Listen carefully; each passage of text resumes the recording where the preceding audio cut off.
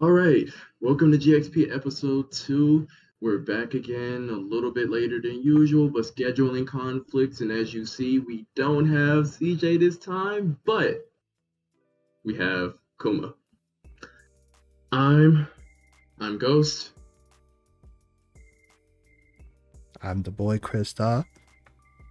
And I'm And- special, uninvited guest, snuck in through the back door. What you talking about? You thought you won't go see me? Oh, y'all better learn today. Yeah, y'all finna learn today.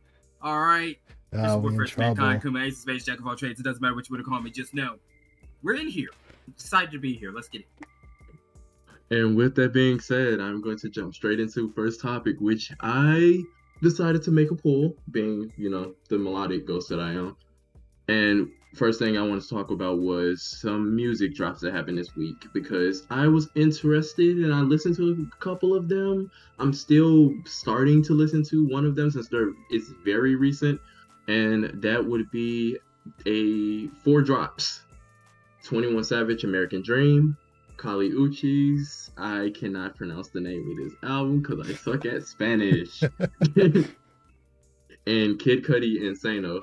And just for shits and giggles, Six Nine dropped an album too, but it's trash. That's all. That's the only mention. um, the 21 album. I'm gonna first layer out by saying that it was solid from what uh, from what I listened to. Um, pretty consistent with what 21 makes and like the instrumentation is pretty nice honestly his production has been getting better over the years as things stack up and his Yeah, sure. vocal his vocalization actually has a bit more emotion to it this time around so it's interesting to see and hear in essence and i'm wondering how it's going to go from here because i honestly was not expecting this drop i don't know if there was a rollout beforehand but it was just interesting to see how that was. As The far only thing as I saw was the the that movie trailer. I'm like, oh, there's an album coming. okay. Yeah, I did hear about that, but I didn't. I never saw the trailer itself. As far as moving over to Kali's album, Do you, do The- know what it? Do you know what the, the album actually the name is? The, the translation? I will It's going it. to piss you off when you see that translation. Are you serious? It's going to piss you off. Oh, You're gonna be Okay. like, I feel like I should have do that. Okay, okay, okay, okay, okay. Let me first off, let me grab the, let me let me post that in th- the thread and then make a quick translation then because this seems like it's going to be interesting.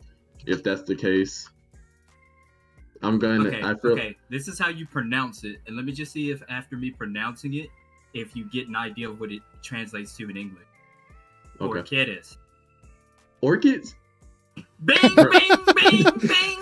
Off Of rip. course, of course, it's a flower album. Okay, what I'm about to say what I'm about to say next makes a lot of sense. And also I like that she dropped a flower album and she's a I hate wording it like this, but that's the truth. She's a Tyler project, which makes it Mhm. funnier. Because she, she remember she got that big push after working with Tyler, but Tyler's been like pushing her to the forefront since like the beginning. So that's been a big thing. So that's been a big thing. But like the reason why I'm saying this because this album, from what I have heard, even with my lack of understanding of the language, sounds so lush. Everything about it, the instrument, the instrumentation, the vocalization, the Mhm. production, everything sounds so like purposeful and like everywhere, but all in the right ways. It literally sounds like, well, honestly, now that that makes a lot more sense. It sounds like a bunch of flowers, which um, perfectly works with her aesthetic. And like, Mhm. I feel like Kelly has been progressively like I don't she, I don't even feel like we have met the prime album. I genuinely believe if she goes down this track, we are gonna get Sade levels of greatness out of out of this uh, out of this artist because the way she glides above uh, glides above and around every beat that she's on is just spectacular. And like I said, I love her work so far. So that was just honestly pleasant, and it was a pleasant release, and I'm very much excited for more from her. And Okay, do you think your audience would hate me if I made a little, little, little comparison? go for it. No, um, for it. I'm interested. This is just me, but from what I've heard from Kali and from what I've heard from this artist, I'm finna say, I feel like it is like the off. So it's like the opposite gender type of music. But in terms of like they're doing something similar but very different. I feel like Kali is the Miguel of like female. It, just in terms of like how she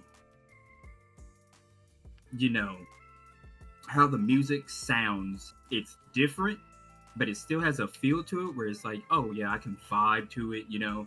I can i can i hate to say it like this but like i can get down to it like butt naked butterball raw dogging like you know what i'm saying? Like that's what miguel does. He makes music for everybody it must He times makes you. you're like, feel oh, yeah, it." this is for the boys talking about what we're going to do when we get someone that we you know special to us or maybe it's just a fling thing that we didn't expect it to you know escalate to something more.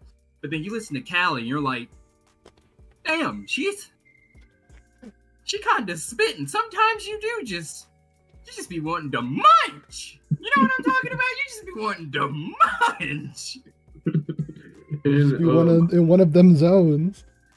yeah, The it's more- just one of those days bro you get caught you saying that is interesting because the more I think about it, I could hear a very comfortable and chill, like prime time sort of like Miguel side of the sound to it to some extent. And like I said, I feel like the lushness is just something that just works with her. And I've heard that since like I've heard like Moonlight or See You Again. Like that's just how she rides vocals, and I really appreciate that. And it's especially interesting because if I go to um the track list, give me a second. I eh, eh. one second and yeah. Okay, okay. Yeah. Like track two was just so good. So good. It was just so good. I, loca it was it was just nice and i really appreciated like i said the vibes that the album gave and everything that came with it and it was just again a pleasant experience like personally it's probably gonna be top of this quarter for me in terms of like albums that have dropped so far and then we moved to kid cudi and oh, heard i'm things as a Cudi fan. I haven't listened to it yet, but um, if what you told me alone is true, uh, I have mixed feelings. Like I said, it's it's middle of the road for Cudi, and like I think it's like if anybody who's like listened to a decent amount of Cudi knows that there was that period where it sounded like he was he lost his sound and he was finding it again, kind of. It sounds Yeah. like we're going through that again, and I don't know, and I don't know how we got here, and that's what's bothering me about it. that would be like after Man on the Moon type beat. so with that being said it was just like something that was like it it also i'm gonna be honest it felt like i hate talking bad about Cudi it felt like it's a album that's made to grab streams and i don't know how to feel about Mm. that it Made from that for them, they're TikTokers. like it feels like it feels like someone else's album filtered through Cudi, which automatically brings the score down for me. That's where I'm at. And I don't know if I can like uh, maybe I need a couple more listens, maybe I need to like vibe with it a bit more, but as far as it goes, I don't think it was like it just it just wasn't it. And then I gotta look at the track list again because like I said, if out of the three, it bothered me the most because it felt like the other two artists are going up while Cudi's like here, and I really don't know how to feel about that. Um, Kid Cudi Insano. Okay. That's. But I Actually- feel like Cudi has built like that rapport with a lot of his fans that if they are diehard fans, they're gonna like Cudi anyway because he's got a lot of that. uh Which he said it himself, not directly, but he's got a lot of that like psychedelic type music, And as someone who is very open about his past experiences and how he got into music, uh, he, you know, he was a bit, uh, before he got into music, he was actually going to be going to college for like film and like trying to be director and make his own movies. But then he was like, that it wasn't really working out because I didn't have, you know, I didn't apply myself to it as much as like I'm in college, you know, I want to party, I want to have fun, I want to do this and that. And he said music wasn't even what he anywhere near where he wanted. He said music was like his plan E. So I'm it's like it's great that it worked out for him, but I'm just like he's got such a die-hard fan base to all the the druggies out there, you know? they just love them some kid It's Cudi. just- I mean, the track list. I mean, the track list speaks for itself. And like, y'all, uh, you two know my taste. So like, you're gonna hear like some of these features, and you're gonna be like, I should like this album more. And that's what. But and I like I said, that's the part that bugs me. Cause okay, for example, track like I'm gonna just talk about a couple of the features. We have Travis Scott on this album. We have ASAP Rocky on this album. We have Yachty on this album. We have Pharrell and Travis on another track. We have X on this album. Wait, we have X Lil on the Wayne. album? Yeah, Yeah. Uh, yeah. We have Yeah. Lil Wayne, Young Thug. Like I should like this album more, and I just feel like it exists, and that's the problem for me. Yeah, when you look at the track list, you definitely would probably assume without listening to anything, it's probably Like, oh, this would go more of a- hard. More of a mainstream album. So with that being said, I like I said, I might need to sit on it longer. Like it might be one of those situations where like, okay, after some listens, it'll grow on me. But like if I had to like rate it, well, uh, the, you know, I use the medals instead of like numbers. But like if I had to rate it, it's sitting at like a goldish, high silver for me. And like I Mm. feel like it should be something that's like plat. That's the problem. I don't know if you've listened to it, but would you would you say it's better or or worse than that? Uh, what didn't he make that album for that movie he had on on Netflix Yeah. or something? He did. oh, oh, the movie, the movie soundtrack is way better. Oh, Yeah. really? Yeah. The movie soundtrack is I love that soundtrack. That most original, most like really heartfelt pieces in a minute. Like you can feel every single track on that uh intergalactic. Yeah, you could Mhm. feel every single thing on this. It was it was just it was telling a story in itself. Before you even Oh, watched yeah. like the movie, it, it was telling the stories within itself with the album. That's something I feel like he hasn't really done since like the first or second uh, Man on the Moon. And I'm yeah. personally Indicud favorite album of Kid Cudi of all time right now. That shit is nothing but a story. it's nothing but a story from the beginning to the end. He's just basically going through his life, and I was just like, man. Even the tracks where he doesn't say a word, it's just straight music. You feel that shit. Feel like you're levitating. Exactly. And when I heard Intergalactic, I was like, I haven't felt like this about Cud in a brick. I still Yeah. love the man. He still has great bangers every now and again. But in terms of like a full project where I just sat there and was like, mm. Mm. Mm. Tasty. I do I do have like one more thing to check out because I thought about it. Um and I was wondering if there were any releases this week, but I don't think there was in terms of the K-pop sphere, if I remember correctly. Uh, yeah, nothing no. from this week. At least on our radar. Radar. And honestly, um, the next thing I'm looking for is like the couple, like the next K-pop drops, and like Atarashii Gakko is what I'm Mhm. looking at next in terms of like more Eastern stuff. So like I'm trying to see how things are gonna go with that, but like in terms of those three albums, and like I said, the I, I I hate that I listened to it, but you know it is. I gave it a stream. The six nine album was trash. Sang it again, but like like uh, in terms of those three albums, I would say they were all good. It's just the Kid Cudi one disappointed me, so it brought it down a little more than it should have. Mhm. But that's and I would say that the highlight was Kali. So like Kali, uh, Kali twenty one, then uh, Cudi, in my personal opinion when it comes to the music drops. And Can we talk about the six nine a little bit because Oh, I haven't no. listened to it. I've never listened to a Six Nine album only because uh, I just know like there's gonna be songs up there. I'm like, cool, this beat is nice, but then I'm gonna be listening to him and I'm gonna be like, I don't believe you. Like I, I just don't believe you. I can't believe anything. Somebody who looks like they stole their entire drip from Rainbow Dash out of motherfucking friends with magic, friendship with magic. Yeah, My Little Pony, bro. I can't take that serious. Like, I know he says a, a few times, you know, it's about having fun, but at the exact same time, don't get it twisted. I will be outside. I will be with the gang. If I'm not shooting, I know people who will. And then I hear his interviews too, and I'm just like, even the people interviewing you don't believe you, dog. and Well- it's just like, ah. I guess I hitting can them go with deep. the. hmm I guess I, I Uh-huh. That's guess what your go. gun sounds like. What gun sounds like that? I was just like, bro. I guess I can go slightly uh, deeper into that. So with the Six Nine project, because I decided to listen to it because it just surprised me that he dropped in the first place. Um, the best way I could put it is it is you know how the baby's been making the same music since 2018.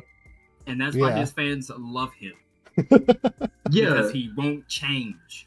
and to okay, there you go. Um, that's why in the on the flip, his music is like not great Because it's, still the same ass. Yeah, it's the same. It's the same. like I would expect it by now maybe a oh I'm not I'm be honest with you.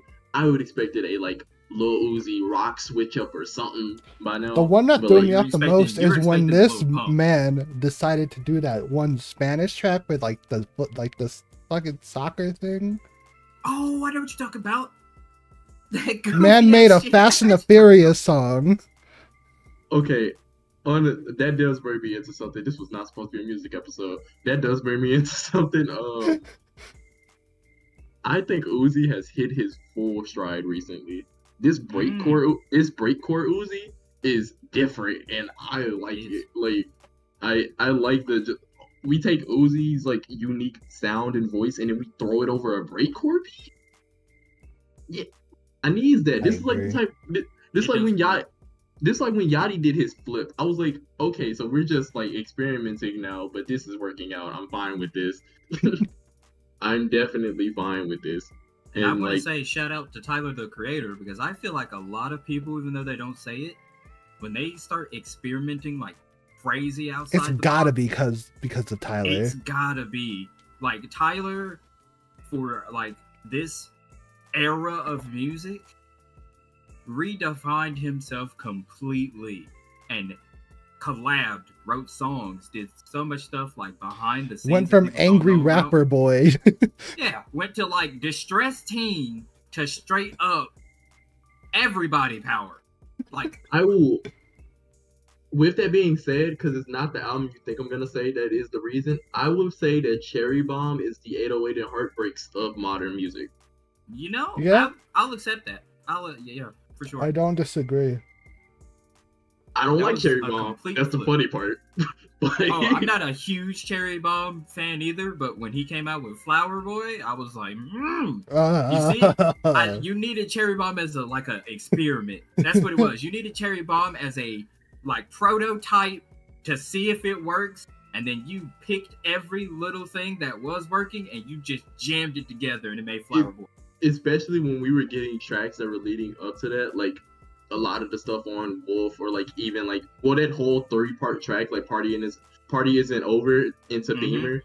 And I was like, because Campfire. You forgot Campfire. Can't I did Campfire. no no no no no no. I I trust me. I the three the three stack the three stack was nice, but like that partic- that particular like track it was the type of even back then was the type of sound I really wanted more from Tyler. And then like the fact that he grew that sound up to now and then it became a situation where he's like oh yeah I'm gonna literally try to be I'm literally gonna try to be the Pharrell here. I'm gonna be like yeah you can be you can be bigger than this or you can elevate this or you could like pick the sound out. Like I can totally agree with that because in my personal opinion Tyler is also the reason ASAP Rocky had testing. I feel like testing doesn't happen without Tyler as well and I like testing. facts. I, I kind of agree with that for sure. so 'Cause I remember like a lot of people did not like testing when that dropped. Shit. if you remember when we were in chat, I was championing that album. That was my bro. Shit, I was right there with you, buckshots. I was crip walking, bro. I ain't crip walked in a minute. I'm buckshots. Ah, they 20 buckshots, and that bitch sucking on a lollipop by the bus stop. I was like, ah. Because I still think ASAP Forever is. I still think ASAP Forever is probably one of the hardest verses he has had. Like period. Mhm. Now, to be fair, my favorite song from Rocky still is a while back before that because Far Side would always will kind of always be my favorite song by him. It's like Far Side every day, and then you get to the newer stuff.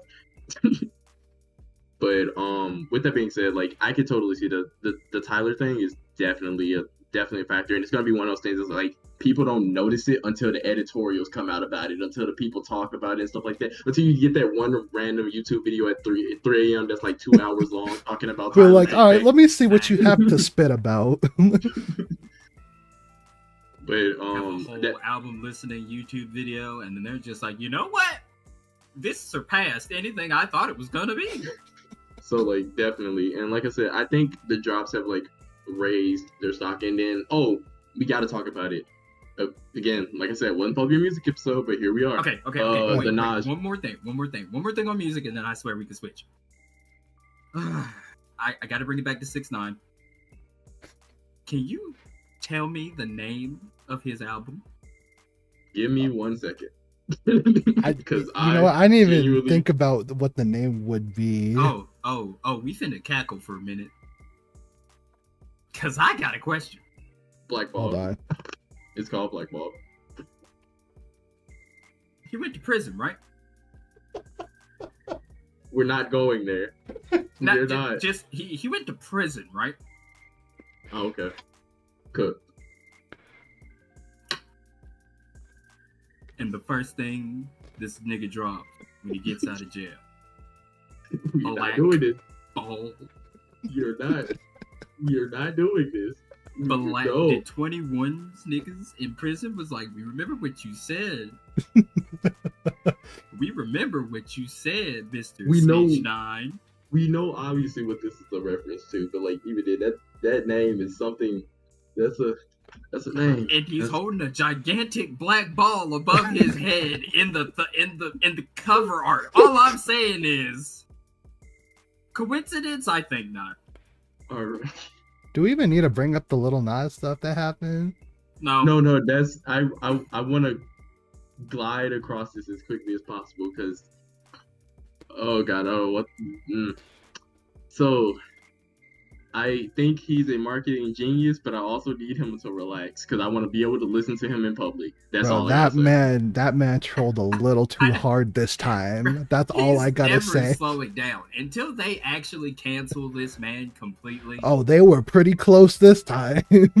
Until he literally, by his label, by the corporations, by the internet, by any music platform, which they're not going to do because he makes them too much money. He's getting way too many streams. They're not going to just say, "Yeah, we just gotta, we just gotta cut it." You know what I mean? In a way, when you think about it, he's doing what Eminem did back in Eminem's like prime time in That's terms of he said whatever he wanted. No, just think about it. He's saying I whatever he's wanting. He's doing whatever he's wanting, and no matter what, it's not failing. He'll call himself out. He'll call other people out. He'll do the craziest thing in his videos. Butterball naked. they can't cancel him. He's untouchable right now. And it's crazy. The only person I know who did anything even remotely similar is Eminem. That's it's Okay. it. He's reached the level where he's unfuckwittable. So it's crazy to think about too because I also think that there is a certain level of quality that comes out with his songs that makes it like, can you please just let me let? Can you please put yourself in a situation where I can actually listen to you in public without somebody going, like I can't lie. It's catchy. I I've been saying Yeah, I'm boss, back bro. like J Christ all week. I can't lie. It's back to back, bro. To be making me want to get on the wall. Just eh, just turbulence. Just turbulence. And then turn around and thug shake it. I be listening to Lil Nas just be wanting to get crunk, bro. And I'm just like, man, I cannot go to work and tell anybody that I I be I, Listen I bummed Lil Nas on the way here because if I do, they're gonna be like, All right. but, um, and one more thing. I don't know if I talked about this last podcast, but I don't remember if I talked about this last podcast. But one I think I will say is that, yeah, it's over with. The Doja album grew on me. It's done. I don't know It what happened. happened. What happened? it I gotta, happened. It I gotta have it- it grew. context. It grew on me.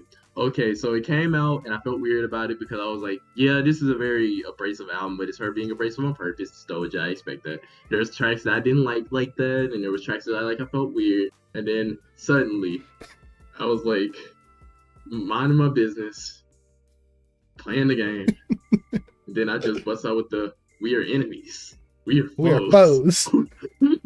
I was like, is it's good. I was like, and then uh stuff like Agora Hills, '97. th- it- It's a good album. Not, Bro, It's when Agora Planet- Hills comes on, bro, I be, I be shaking my ass in my chair, bro.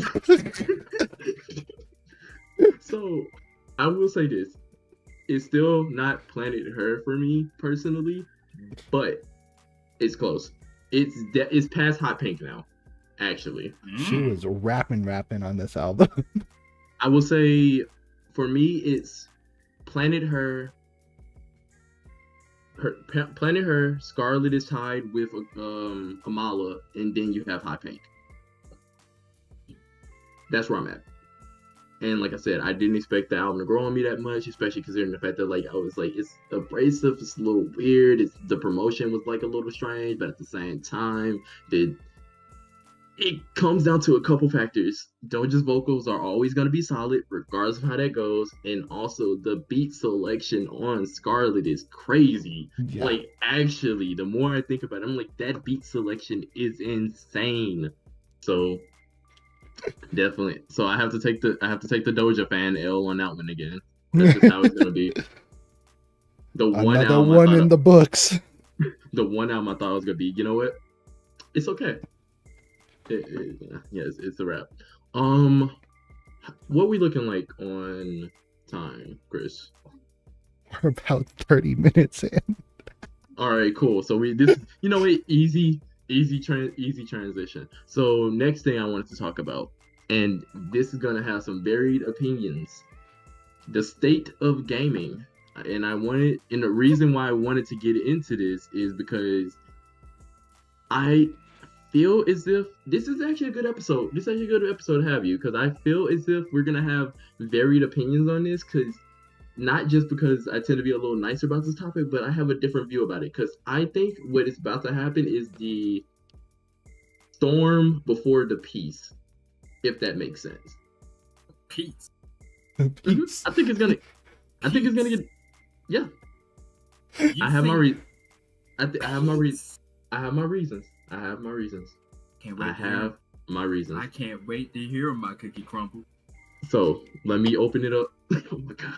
Let me open it up like this.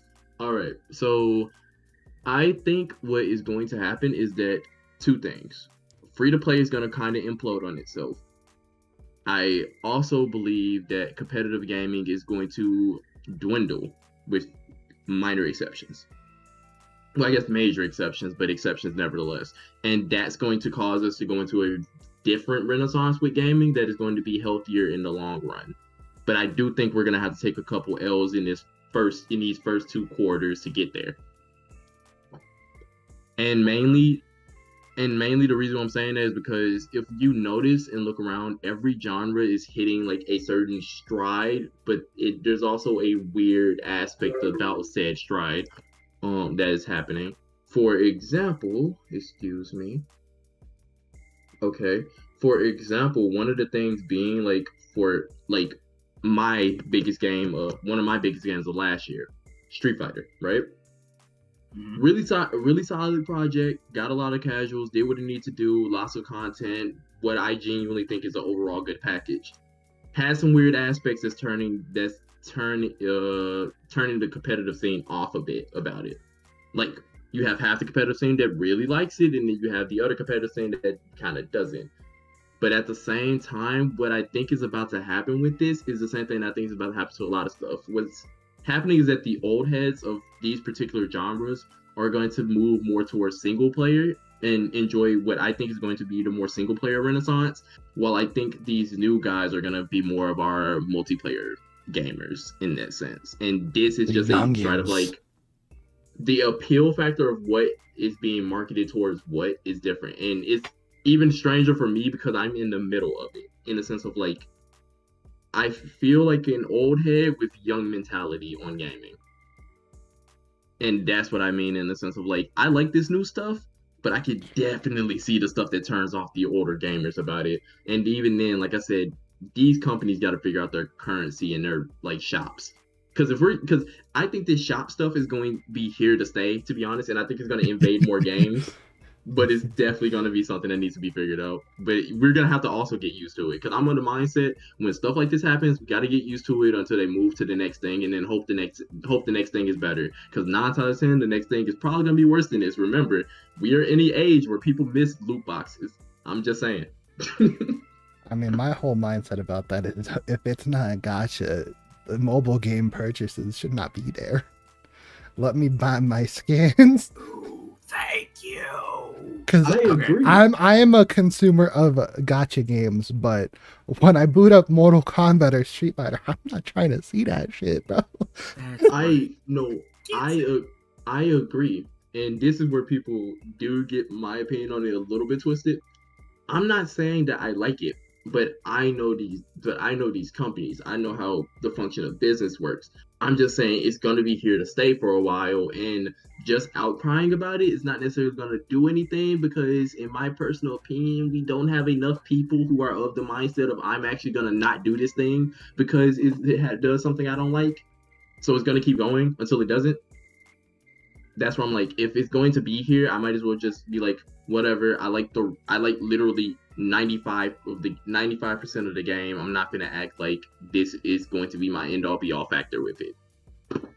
That and like I said, this has been something that's been talked behind uh, the podcast, but I like, for example, I like six a lot because it reminds me of three because it kind of plays like three in my personal opinion, just with more mechanics. So that's just a big example. Of like, yeah, this kind of like we get a really good game, and then always has that weird, that weird, ugly decision. And I'm noticing that the only case of this I don't see, it's in the fighting game spirit at least, is Tekken, and I also think XDefiant when it comes out is gonna be okay. I hope. Even though it's even though it's Ubisoft, and that makes me go, Hold on.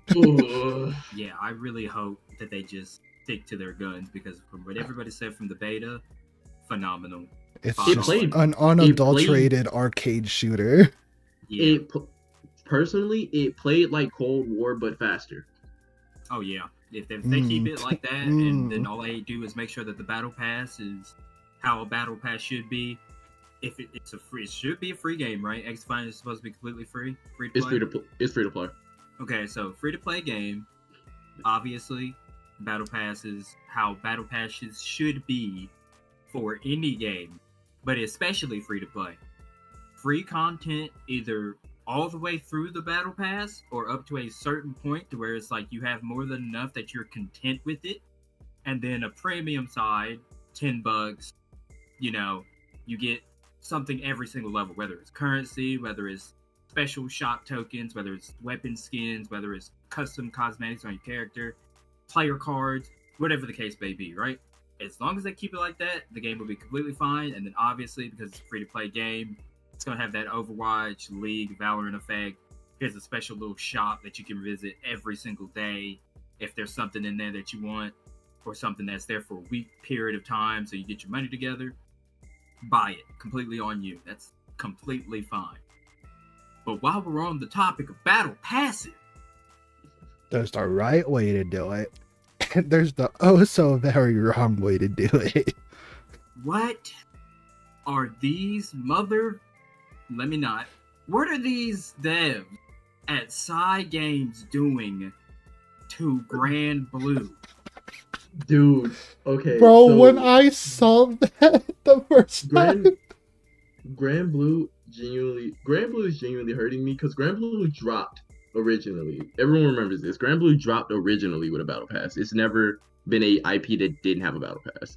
Yeah. But one of those things where it did genuinely feel optional. And while I say the shop in Granblue is okay, somewhat, because like it- you get a little decent amount of customizations and stuff just for the little gold and stuff like that. I've never been. The free to play model is actually backfiring in this case. I have never been so unmotivated to buy a game in my life. like it's like I got and- what a, I got a rotating cast. I got the the the perma stays. it's not well Gran is the only perma state but the thing about it though is that like i'm a big person like i don't i jump around rosters in games. A lot of people y'all know this this is like i jump around rosters somewhat in games. I at least have like four to five characters. Mhm. but the thing about it though is that like with Granblue was the one game where i had the one guy and i'm not even motivated enough to buy the game to get the one guy because like i was a belial player just straight up like, and I don't think Belial's been in a rotation yet. He might have by the time I haven't been playing, but like the fact I haven't been playing, and I think Granblue, I think Granblue feels great when it feels great, but I also think they changed stuff that didn't need to be changed. It wasn't a game that needed to be changed. Like, No. it, and that's crazy coming from me because I'm like, oh, change, I'm fine with this. I, I like change. Death card, favorite tarot card, love that. But like, this is not one of those situations where the game needed to change a lot. I can understand the repackaging. I genuinely can understand the repackaging from a marketing standpoint. If you make it look shiny and new, you'll grab those players that we were supposed to grab in the first place. And Granblue should have been way bigger than what it was. But, but it with the came out weight, during COVID. but with, Yeah. Original. yeah, with with a, a lot worse off net play than it does now. during the Yes. period of, during a period of time where we were suffering when it came to fighting games like absolutely suffering and like even with the games that like i disagree with a lot of people on like strive and stuff like that i could still say generally fighting games were suffering at that point in time we're getting to a, a we're actually hitting a high note now i personally believe because i've never seen this many people interested in fighting games in my life but at the same time it's weird because like it's like you took the ki model and made it worse and i don't know how you do that yeah, Mm. KI found like the amazing balance with the free to play until you buy it thing. and that's and because it motivated you like oh this character's sick i want to you know what i'm gonna get the I i'm gonna want get to the game level it up. I want to give take it to Shadow Labs. I want to take the story. I want to buff the hell out of it. I want to get all my equipment, Yeah. items. And guess what? Granblue has that. Granblue has a character specific leveling system. Here's the problem. There's too much in there. And I mean like when I say too much, I mean colors, cool. Love that. Weapon skins, cool. Love that. Otherwise, I would have to grind rupees, and you can't just grind rupees in this version of the game. I'll get back to that. Reskins for like default weapons. So, like, everybody's got three default weapons in this game, Uh huh. or just weapon skins that you can change through. Every single weapon has a reskin in a different color. I'm a Narmaya Yuel fan boy. when the vanilla came out, there was only two characters I wanted in the game. Thank God I got them first. It was Narmaya first, and then Yuel came out like season two, first character. And I was just like, I was thug shaking. I couldn't do anything else. I was like, both my characters are here, everything else is bonus. They have a perfect model in vanilla. They had an RPG mode that played like the gotcha game, but was completely original in the fact that no fighting game has ever done RPG mechanics and a fighting game for a story mode. Now, you could say Persona, but that's not exactly the same for the simple fact that it's, you know, I would- specific. You know I what I would mean? argue. I would argue. Uh, scenario campaign Tekken Six. Okay. In a way, but still not quite like I mean, Grand another because close one took- that's not Glam- Granblue, and it's very bare bones, is uh invasions in the new MK, but that's very bare bones RPG elements.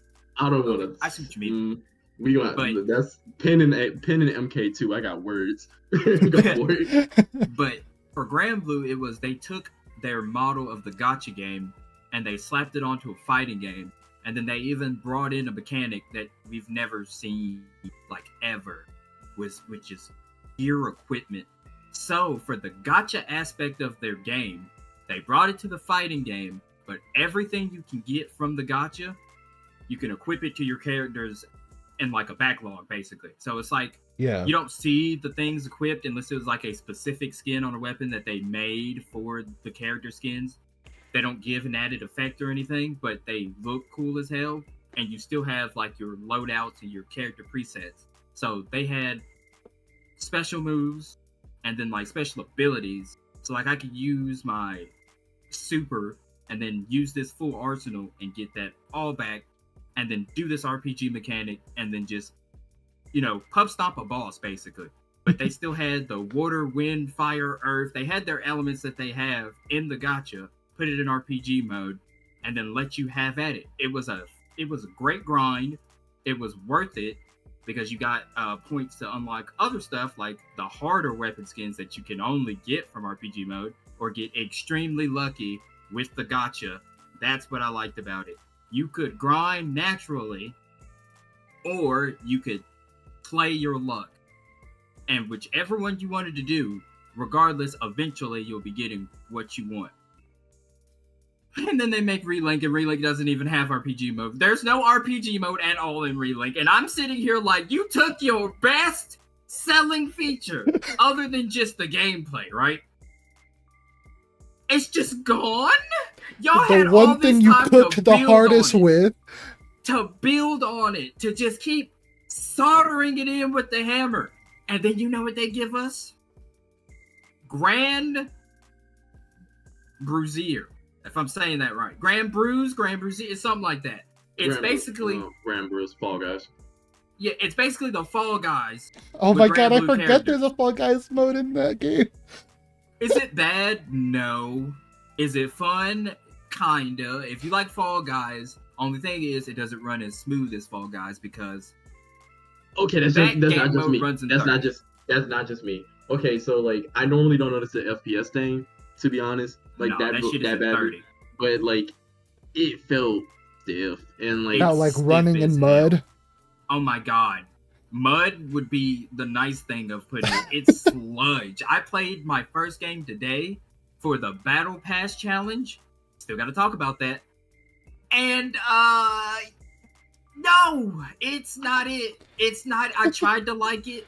I'm running around. I've got people's avatars who are different characters throughout the series, characters you can't play as, characters that are just skins. I had Bahamut running beside me. I was like, that's cute as hell. That's cute as I don't know what. But it's dog doo doo. Because it's 30 frames a second and we're running through sludge. And you expect me to traverse an obstacle course? You expect me to make pinpoint slashing? decisions? And then the crazy part about it is that like when playing it, it made me go, I kind of want to play Fall Guys, and that's a problem. or like, cause like if we're gonna do this, I will say this: if we're gonna do this with Granblue, I don't, I don't mind. I don't mind them adding this mode, especially like that. I love cute shit. If we're gonna do this, become, I hate to say it, but become Tekken then. Make mini games your thing. Literally, like, okay, you got Fall Guys, but if you don't want to do Fall Guys, you got RPG mode why are we losing things? It's like, and I get it. or that's- something that's technically, well, I mean, objectively worse, I would say at this point. Oh my And- god. And I, and I, and I, and to be fair, I, I will give, I will give it this. As someone who has been working on a game for quite some time, I do a lot of stuff. Mm, Like podcast people, I do a lot of stuff. We ain't even gonna get into that. So, as someone who like has been working on a game for quite a bit, I get it. It's difficult, especially when you want to port something over to this new system and stuff like that. It's kind of weird, but at the same time, m- m- all they had to do take old RPG mode, move it over, and then add a couple things. You didn't even really have to go that crazy with like adding new stuff for it. And if More you want bosses, to, more stages, more upgradable things. That's it. Secret That's bosses too, And it- even maybe. and it, And if you wanted, All they do. and if you wanted to go that far, because I am also a person who understands monetization is king when it comes to situations like this, make it to where you can add episodes later and do that if you really want to bring that monetization in. Just be like, okay, we have we have RPG mode episode two. It's like it's not really that like take, take call the class call the one from vanilla episode one. Yeah. have ep- have episode two come out. Be like okay this is what your character's been doing. This is what this character's been doing. This is where like this is how they feel right now. This is the character they because it could even be stuff that explains like the characters in this version of the game have different quotes for, that reflect character changes how did these character changes happen we can talk about it. And that. there's no story there to explain it. Nothing. you have to literally like I'm the type of person that will just watch intros, but you have to basically like watch intros and piece stuff together and like comments that they make towards each other. Like it's like very old school in that fact, but I don't think Granblue is one of those things that was like big old school to begin with. So like you don't have to go that route if you weren't going that route at first. Like you understood who these characters were from all the stuff you got out of vanilla. You very much understood who these characters were. And you do to Yeah. some extent here, but it's like toast compared to what it used to be. And like I said, it's one of those situations that didn't need to change that much. It straight up didn't. And I I support change, but like again, I support change, but sometimes that doesn't necessarily need to be your thing unless that is your thing. Street Fighter becoming a different game every Street Fighter has been something that's been happening since two. So that's different. That's just Street game- Fighter's thing at this point. every series doesn't need to do this, and that's what I'm talking about. This is what I mean when I say that a lot of the fighting game players are going to move from fighting games, unless you're like somebody with like the mentality of me, is because I love new stuff. I very much love new stuff, but like there we are running out of legacy series. The only legacy series I can think of is KOF and Tekken, and that is it. And that's That a is true. KOF being the hardest legacy yeah. known to man.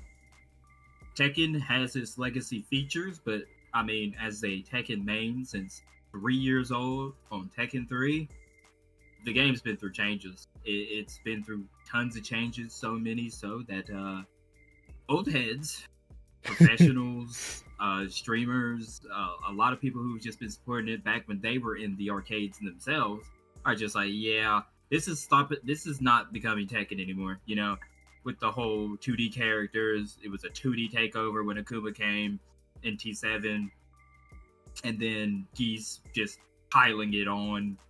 And then you And have then- characters now like old like old man ninja.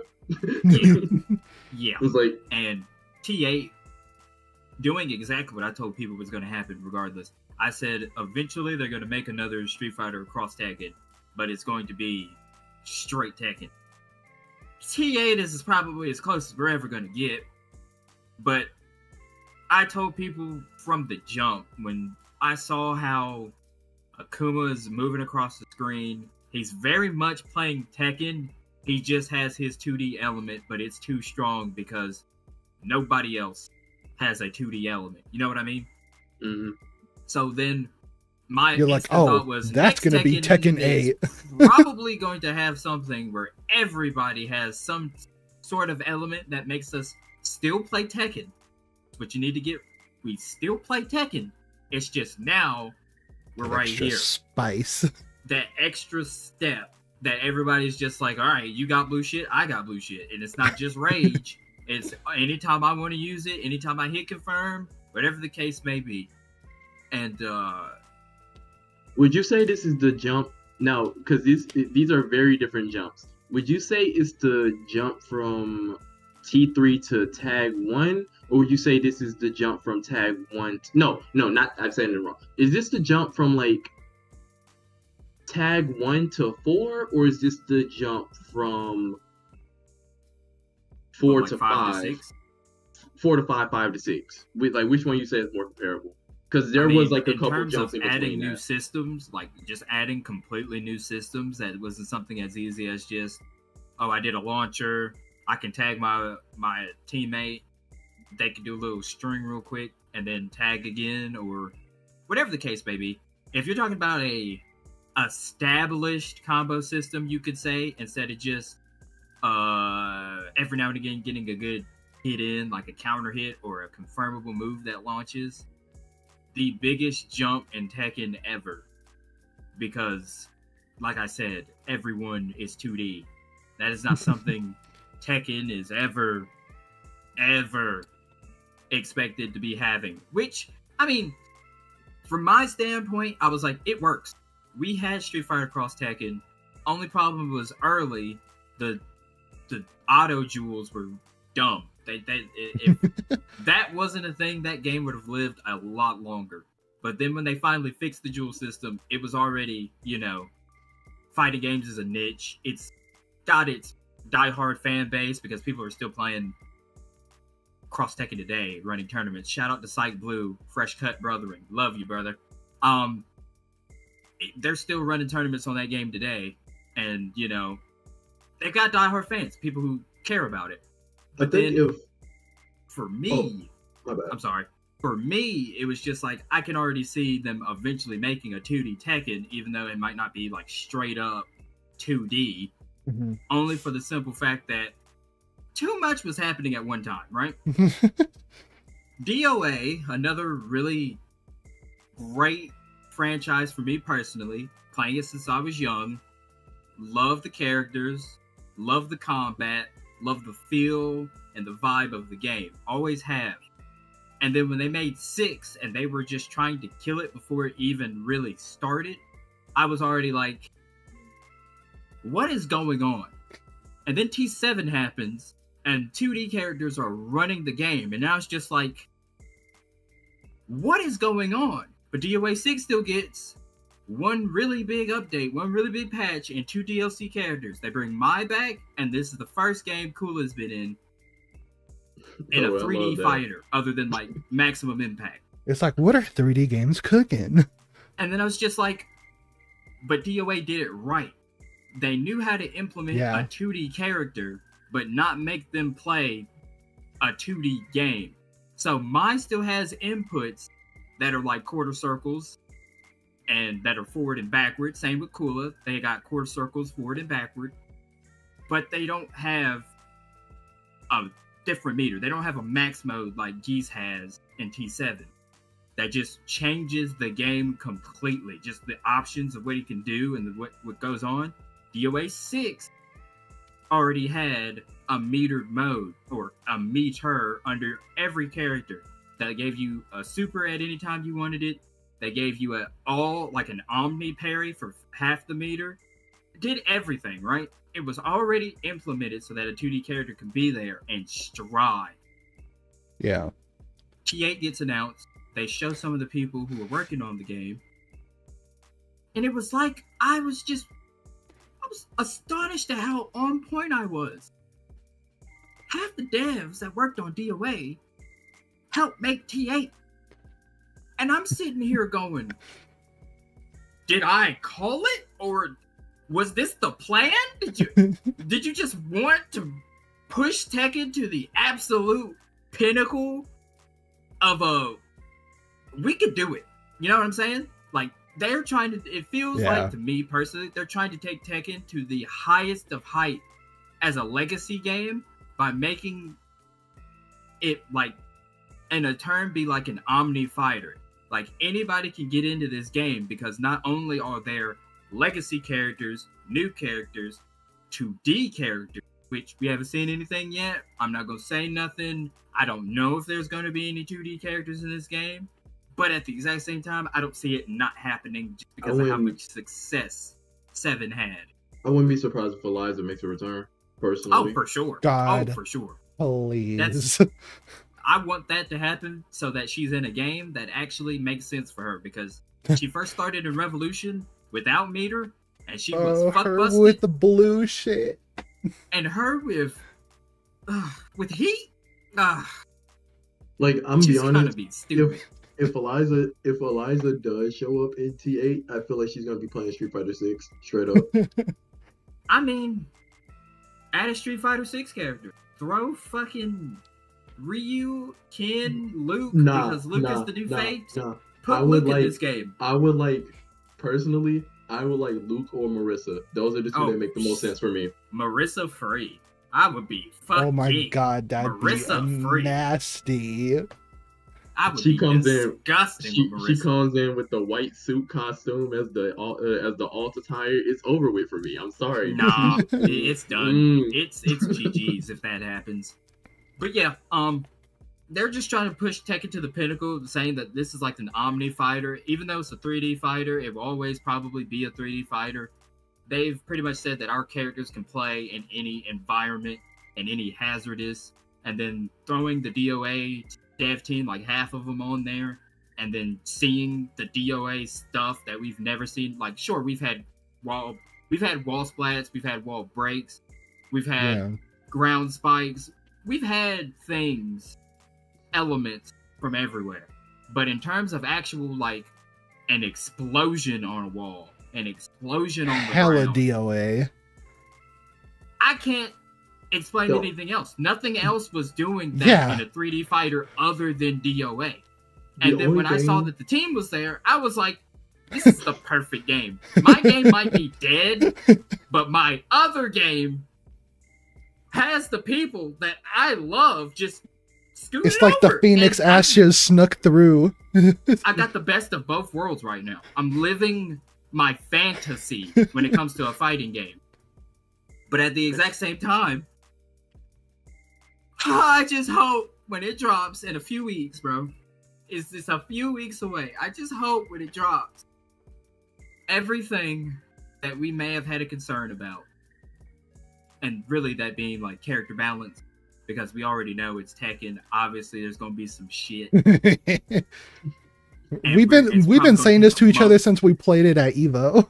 Yeah, bro, it's probably gonna be a month before everybody actually figures out every little character. Obviously, they're gonna have pre-tourneys and all types of other stuff. Yeah. So people can see where characters are right now for how people are playing and the things they get to do with their heat or uh, with a certain uh, stage aspects. But all I'm saying is, the heat was there designed to make it easier for everybody to fight everybody, just like T7 did with Rage Arts and Rage Drives armored moves. T7 was the first game to have just straight up armored moves.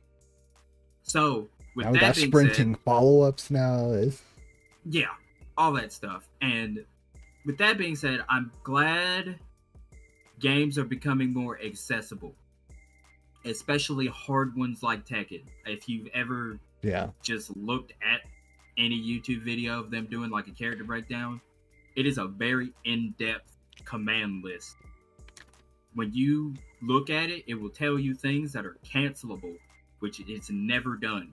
Usually, you would just have to figure it out from playing so much, or it's just like a standard cancelable thing. But like Nina has a lot of cancelable moves where she would just faint and then do a sidestep or a back, uh, the her uh special backdash where she just dodges and she gets buttons out of those.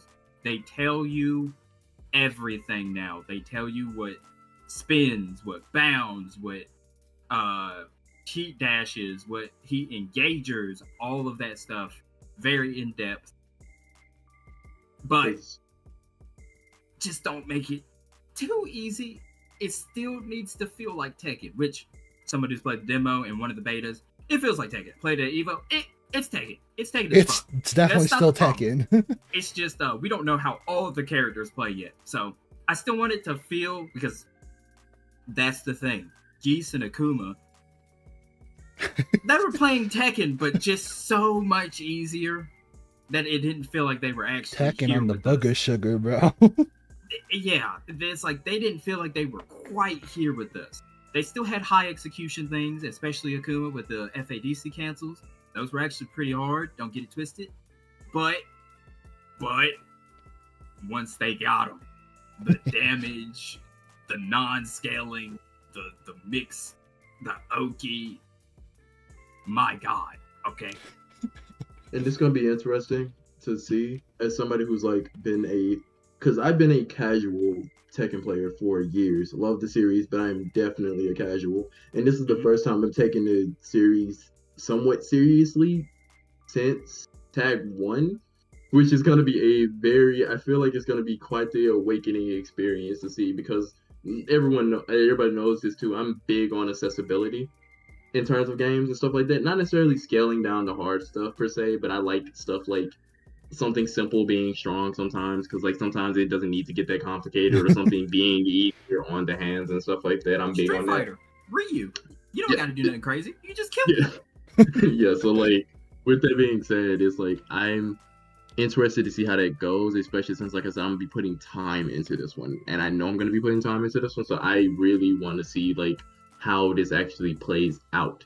Um and that actually takes me to a another thing I was thinking about when it came to um Tekken. There's two particular guesses I have about what's gonna with the series itself. I think its competitive scene, if Somi gets the money, is going to be as big as Street Fighter, straight up Yes.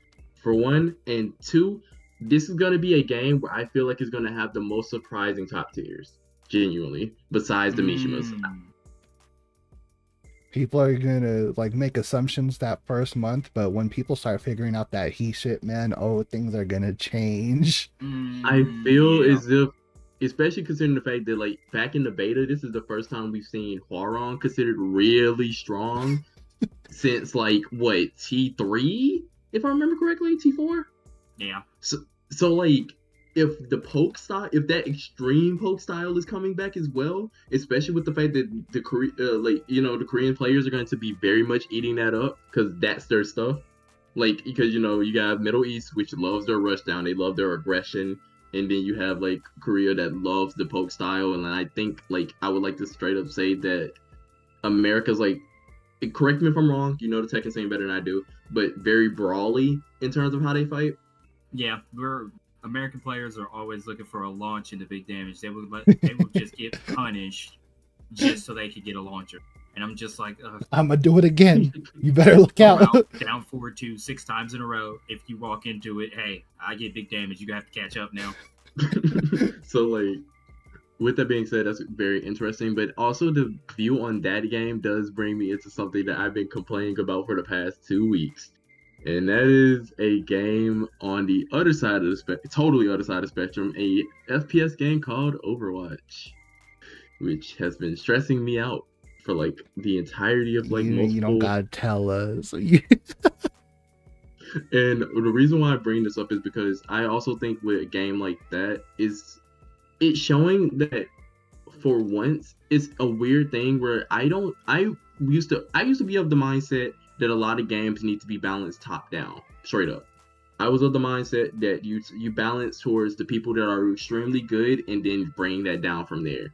But one of these things I'm noticing now is that like with games like that or certain games, that is not something you can necessarily can do. And past that, I think that a lot of competitive games, a lot of games now are losing their original like factor that brought players in, which is why I said it's weird for me to say this, but like I don't think the change thing is like big everywhere. And that's the sense of like the change from 6v6 to 5v5 caused problems. Let me put it like this. If every character in the game needs to be reworked to fit the game, I think that a mistake was made in changing the game innately. It's just And we're noticing- team size, man. we're noticing character we're noticing characters getting because we're not even talking about the store. Jeez. But we're noticing characters that like nobody would have complained about previously having moments of like people actually complaining. Like people are talking about Ana being a problem. Ana's a little And P it- now, don't you heard?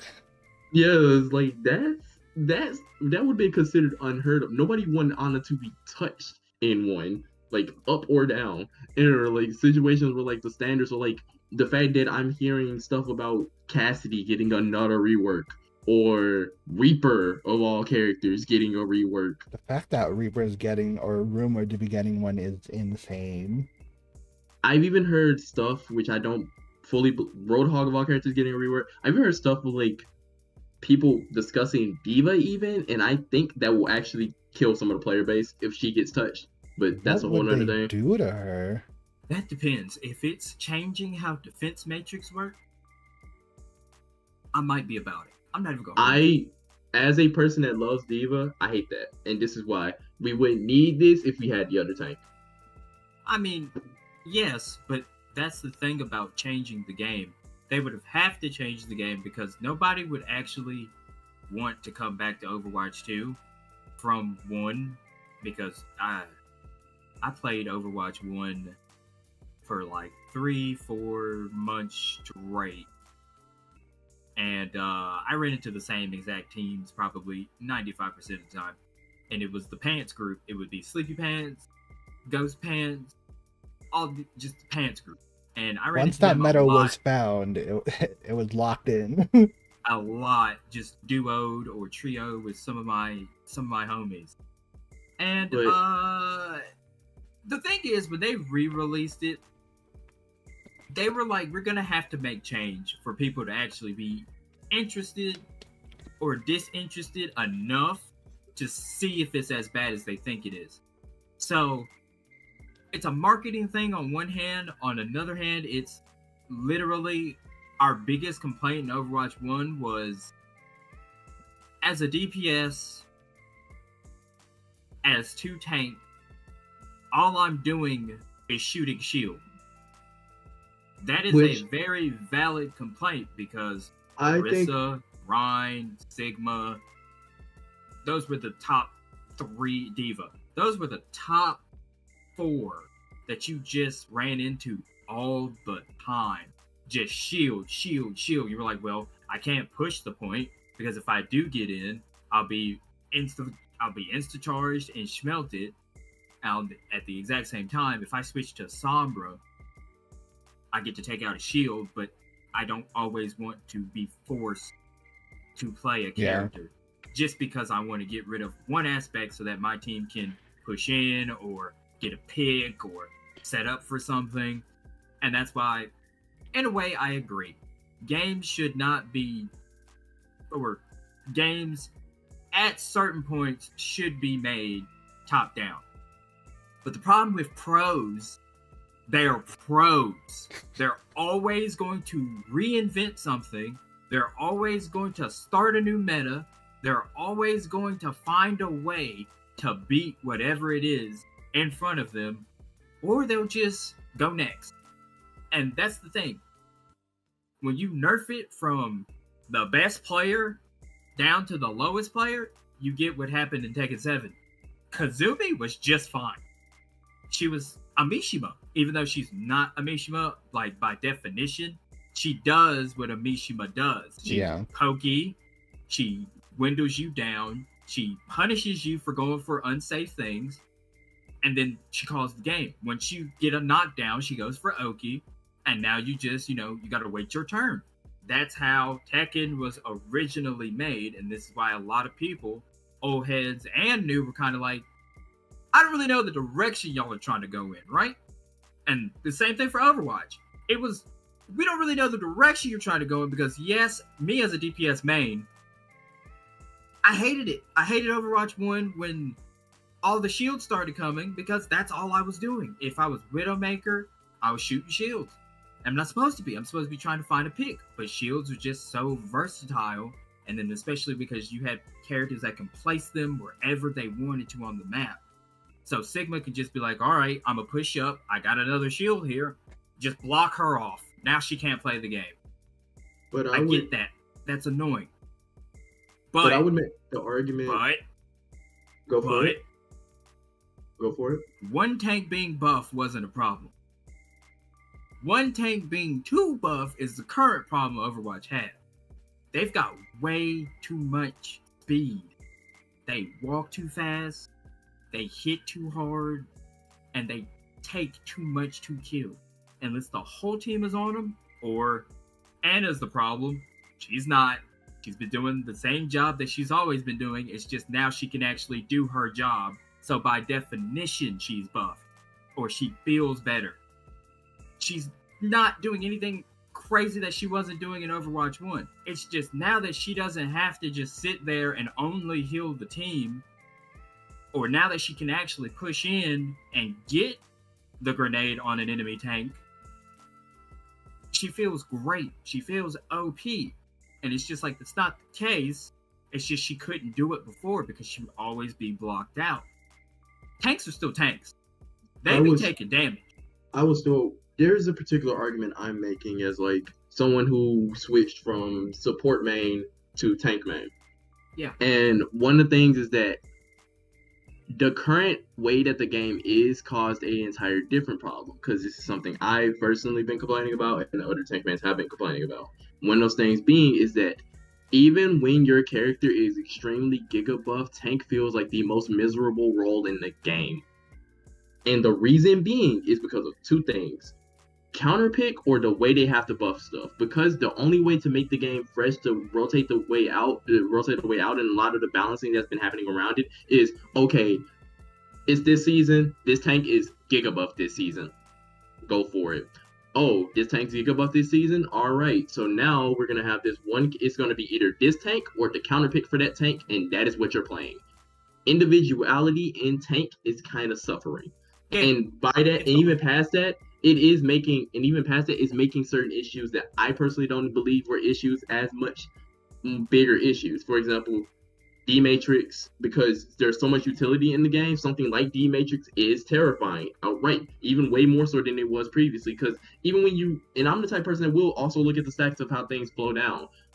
D.Va gets a lot of utility in like low to middle ranks and she always has. She's just been a consistent pick like hell, she's my character with the highest win rate and kill rate of any of my characters still. Um and that's one of those things where it's like, okay, cool. It is what it is. I would even take a slight matrix nerf, even like, you know, the cooldown stuff like that, but I am scared of them doing it like they did Valkyrie and Apex, but I'm not gonna get into Apex. Actually, no, I am. Just that's gonna be a very small tangent. But um when it comes to how the game functions and stuff like that. The problem is when we have to complain about tanks like Sig. Because what I mean is like there are certain characters across the board in every single role where you can say if you play that role, that's your main role. This is the character that is the spot line. This is the character that's the line. This is the character that's just this character probably shouldn't be touched because either A it takes skill or B it's just not actually that absurd. That person is just good. Sigma is that tank. Mhm. And if Sigma is seen as the Giga problem, besides Ramattra right now, it's actually Ramattra Sigma. It's actually Ramattra Sigma at the moment. People see Sigma as a problem. Yeah, actually, yes. I Is only that- see D.Va, Mog, and uh Ramattra. I will put it Those like are the this. only problem tanks, like just flat out, like they're I doing too much. as as as I've hyper grinded, especially especially with certain people, especially being with in PC pool more often and stuff like that, and dealing with certain other stuff that's been happening in the game, and like me becoming more knowledgeable about the game, and me playing with certain people who are of these certain tiers who are like, oh no, we're running this comp, we're running dive comp, we're running rush comp. You know what I mean? It's become a situation where like that sort of stuff does pop out. That's why it becomes a situation. That's why my takes on Overwatch have been like melding in a different way in the stuff where like for example you take you take me back like a year ago and i'll be like moira is the most annoying thing in the game and now i'm just like is. And I'm there. and now i'm just like nah personally or stuff like uh some like mercy res used to be able to get on my nerves even as a mercy res and i'm and now i'm just like whatever and now it, for me it's become more like no your kiri your brigida your whichever tank is that tank for the season because like i said it switches around. We just suffered through the horrendous period that was the Mauga Mauga meta jesus christ. And i will say this love that character. Mauga is a well a cool a cool character but holy fuck them being meta was the worst thing i have ever played in like the long period of Overwatch because if you didn't have an Ana carry or just in general your healers sucked, raps. And I do feel like the DPS don't have enough effect. They don't have enough push that they should have in the game, and I mm. stand by that too. I actually genuinely believe that the DPS do need to be stronger, but it's one of those things where they're scared too because they know if they push it too far, then it becomes an entirely different problem, especially with the amount of healing and damage in the game. Because my personal take on the game, my personal take on what the happen should, should happen to Overwatch, one, and this is something separate, but I'm gonna get, I'm gonna double back to this. One, skins gotta be good with how Overwatch is and the community around Overwatch, if the skins suck, that season sucks. That just is what it is. I'm gonna be honest with you. and that is crazy to say, but that's the truth. Um, damage and healing need to go down across the board. I think it's too overblown with da- I think the game's too overblown with damage and healing, and I also think they need to take a siege route where there is quick play, unranked, then ranked. Instead of quick, and it is gonna divide queues, which everybody complains about Overwatch queues. I know, but like the fact that even Blizzard is like, oh no, we're making quick play sweaty on purpose is a problem. the fact that there's lever penalties in quick play, I agreed with it at first. I was like, I hate people leaving my game, but at the same time, the more I thought about it, I was like, it's quick play. You should be able to just try something out. If you don't like it, get out. Um, which is why I do think unranked needs to be that middle period that they're trying to balance around. If they're gonna really do something like that, I think they need an unranked mode because it needs to just be quick play. Just needs to be fun. You need to be able to play whatever you want to in quick play. And another, in my third take, six v six needs to come back in the form of arcade. I think that you, I, it's not gonna work. It's not Because gonna work the reason why- are, though. the reason why, but that I'm saying, but the reason why is because you take put six v six in arcade back, see how many people actually play six v six versus five v five, and then go from there, and then make your balances around that. Because I still think that the game needs to be brought down in general. So even if it even if it isn't going to work, it should be work if it's the game's brought down in terms of damage and healing. Because damage and healing is the straight up problem. I there shouldn't be a re I'm be honest, I think power creep is just too much. There shouldn't be a way to where the tanks are consistently, even tanks that are kind of bad, to be honest, are doing 20k. And then you look at the DPS, and then you Thank look you. at the and then you look at the DPS and they're doing nine. I'm not able to do my job because I'm getting spitballed by one character. Which, should to be not be fair, playing DPS. with- How I'm with how I'm with how my personal like feelings on is the matter. If they did handle it in that way, tank wouldn't be a problem. I don't want I'm gonna be real with you. I don't want to adhere to whatever meta is happening with Tank at the moment. Sometimes I just want to play Ramattra. Sometimes I just want to play Sig. Sometimes I just want to play D.Va. I don't want to be like, oh, okay, they're going. I gotta um, play a comp team. They're they're going. They're they're going Sig. I gotta go Zarya. It's time. Woo. you know what I mean? Oh, they're going Mauga. It's time to go Sig. Woo. you know what I mean? It's, it's too much. Counter like and counter picking was a thing that was always a thing with Overwatch, but the frequency is way too high, especially It's with stupid. tank. It's dumb high, bro.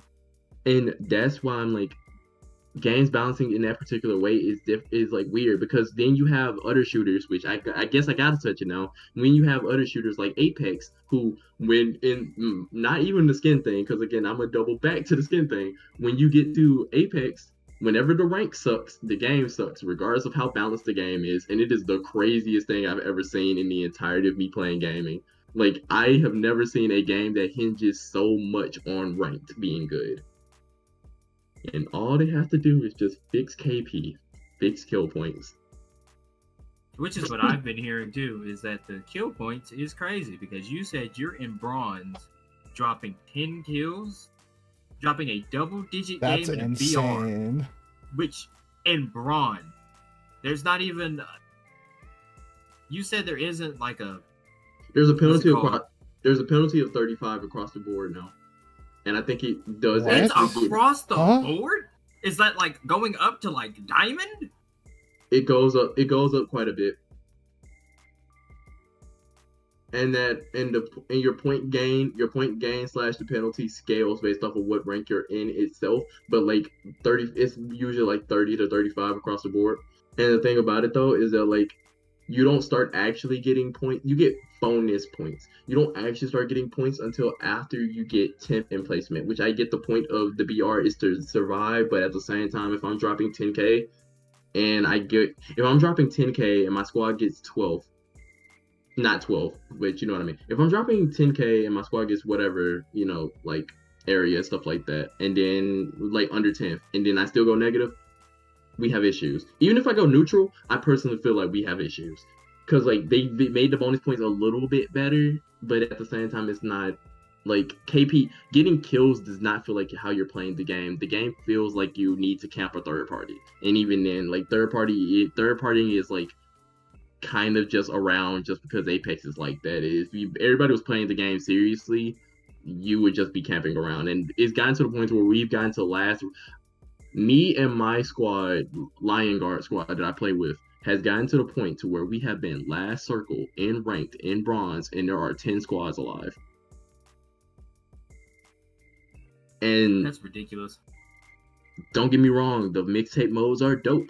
The other the game balance is actually decent, minus a couple characters. Valkyrie, Lifeline, Crypto, which Crypto is just gonna be a problem to the end of time. He's the Persephone of he's the Persephone of Smite to Apex, so it's just like that. Um, which Crypto man depresses me, whatever. But um, whenever ranks Persephone up, player two. yeah, Yeah. I, I like my yeah. I like my management mechanics, man. I like my okay, give me my information. I like my management. Do this. Okay, I'm gardening. What's up? Playing. I'm playing. Yeah, I know Deadlock and Killjoy. I know. but with that being said, it's like okay, so whenever rank sucks in that game, the game player drop off just happens very badly, and it's like I Well, time to wait it, till next season. it's gotten to the point to where my regular where my regulars are like going, can we like play something else? Or like getting like even like tilted and like getting full tilted even and like we play a mixtape mode to chill off, but we feel like we're not even getting anything major for progression and stuff like that. Like because like progression Apex is also kind of weird and stuff, and the story's kind of weird stuff. So it's like, why are we here? What are we doing? Because we're not getting rank points. So like, what are we doing here? And it could, and it is a case of like, yeah, if you played enough, you could like grind up the ranks if I wanted to, and I played like every day, I could still get up to like plat and diamond and stuff like that. Like I'm not a masters, I'm not a pred player or anything, but like I can get up like quite a bit in rank I have before. But like when you're getting like to that situation where you're like, hmm, you know what I'll play instead? Bloodhunt. it's like it's like I, it's like one of those things like yeah i'm i'm kind of over it. And that's what i'm saying. I'm these games overwatch and apex while i do love these games are killing my competitive drive outright. Mhm. like the way stuff is getting balanced in general when it comes to anything is killing my competitive drive for games more than it, anything has ever had with the exception of six. And that's just because six is like handcrafted to be a bunch of stuff that i like so like i lucked out with that But, like, everything I'm feeling that way with Tekken 8. I'm right there with you. There's about to be some problems in that game, and I'm about This to be was like, made because for it was me." handcrafted for me. I kind of don't give a damn. So like, it's like, but everything else is like, because I worked hard to try to get to where I am when it comes to FPS games and stuff like that. Because y'all Mhm. remember when I didn't play them, so like, and only for the games to be like, yeah, we're not gonna reward you for sticking with us this long. We're kind of just gonna like give you a little bone here and there, or like throw some random gacha like the heirlooms. I blame Apex for something for some of the gacha and shooters, kind of. To be honest with you. it does feel like heirlooms was like the big start of that. So like that zero zero point one. Uh, but anyway, um, That ain't It's even a like- gacha rate, bro. Yeah, that's 0.1. horrible. and then they're like, well, we have a, and it's crazy because the reason why I'm calling it gacha outright is because it even has a pity system. If you It get does. fi- if you get 500 loot boxes, you'll probably get an heirloom on Which that is- five. and that's that- even that- worse than some gacha pull systems. 500 is Some insane. 500? No gacha. No, because most gachas- Pity system, Yeah, mo- you're right. Most gachas like the limit is like 20 pools. 70, 80, 70, 80 pools of like 10. And then they'll be like, oh, yeah, well, if you haven't Let, gotten it let's by let's now, give this let's give this boy a bone. Yeah, let's And- let's give you at least one SSR between now and the time you hit 80. And then you'll be like, oh, it's my 80th pool. Guess I gotta get something Yeah. And you just shiny. have to, and then you just have to sit here looking at your locker, going. But they have so much cool stuff because they're dropping an heirloom or even the prestige skins every other month. So you're like, oh, Seer just got a new thing that I can't have. That's crazy. Or there's a Whoa. Rico thing with extra animations that I can't have. That's crazy. Oh, they got a prestige skin. That's dope. I'm not gonna have it though unless I play only this game. Cause for yeah, 90 hours. and spend then- like three three bags every two months. And then they threw us a bone. They threw us a little bone. They threw us a bone. They were like, okay, we'll give you a progress. We'll give you some more progression. You got weapon progression now. Oh, you you get rank your le- weapon up to level 20 based off your kills and stuff like that. You do these little skill challenges. You get stuff for it. I'm like, okay, that's cool. We going in the right direction. And then I think about the shop again, and I'm like, but is it worth it though? Because like we don't even. I'll be real with you. Even with Apex, we don't even have the skin level that other games have in that sphere. Like nobody's talking about Apex. Nobody going that crazy over Apex. We had a whole Final Fantasy collab, and how many people did you hear talking about it? Zero. I didn't hear about it till it was mentioned by. It wasn't even you. It was VG. I'm like, oh, that is happening in Apex. I remember seeing the trailer, and then I don't remember hearing a thing about it. Yeah, we saw it at the Game Awards, and that was it. Any- Zero. Any other game that drop something like that drops in, and people would lose their absolute mind. But that's the thing. And- it was an Hey, Apex. you hear and I was you hear like, FF7 coming kind to of a Fortnite? collab. I was just like, that's kind of a weird collab. Uh, I mean, I appreciate it, mending some worlds, the very Final Fantasy thing to do, but at the same time, And and we make the and then we and then we make the Buster Sword. Then we give the Buster Sword a cost because it's technically an heirloom. It's it's a universal heirloom. Don't get me wrong, but oh how yeah, how much? Two fifty. Three hundred if you round it up in certain countries. Two hundred and fifty dollars. Yeah.